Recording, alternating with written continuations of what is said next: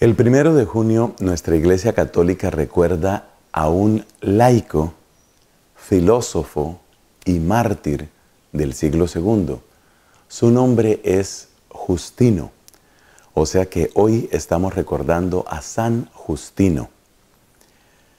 Es bien interesante la historia de este hombre porque es la historia de un peregrino, un hombre que buscó a través del estudio en dónde estaba la verdadera sabiduría. Se puede decir que esa fue la gran preocupación de su corazón. Así como hay personas que concentran su atención en el dinero, dónde puedo hacer más dinero, así como hay gente que conserva su atención en el placer, en dónde puedo pasarla mejor o dónde puedo disfrutar más, resulta que también sobre esta tierra hay unas cuantas personas que tienen otra clase de búsquedas en el caso de Justino, su gran búsqueda era la verdad. No es el único caso de un santo que a través de esa búsqueda, de esa peregrinación, ha llegado a nuestra Santa Iglesia. Recordemos que San Agustín, mucho más conocido, aquel gran obispo que vivió entre los siglos IV y V, también llevaba una búsqueda, la búsqueda de la verdad. Y eso hizo que San Agustín, en un momento dado, dejara atrás no solamente una vida de pecado, sino las creencias contradictorias de una secta llamada de los maniqueos. Tenemos también el caso de otros que han hecho este tipo de búsquedas. El Papa Benedicto beatificó hace unos pocos años a un gran hombre llamado John Henry Newman.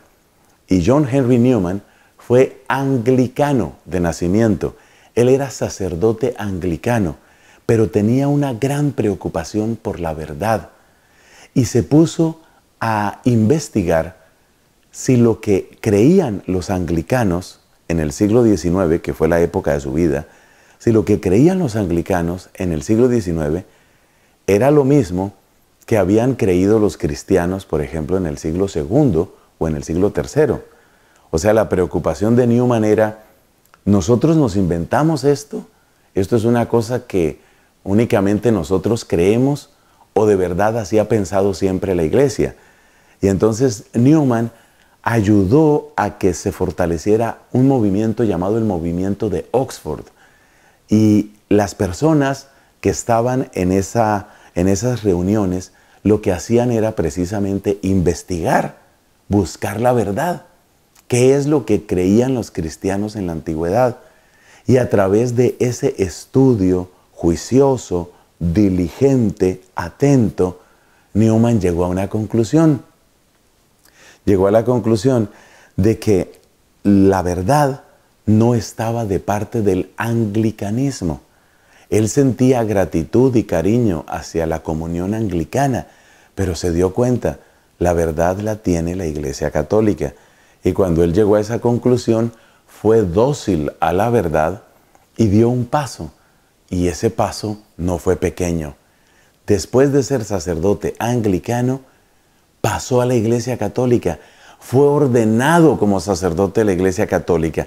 Llegó a ser cardenal de la Iglesia Católica, John Henry Newman, porque estaba buscando lo que es verdadero.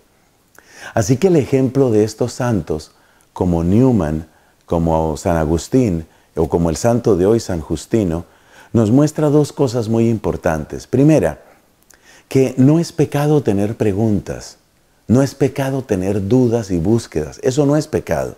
Pero, segundo, tienes un deber de conciencia de avanzar, de no quedarte simplemente con tus preguntas.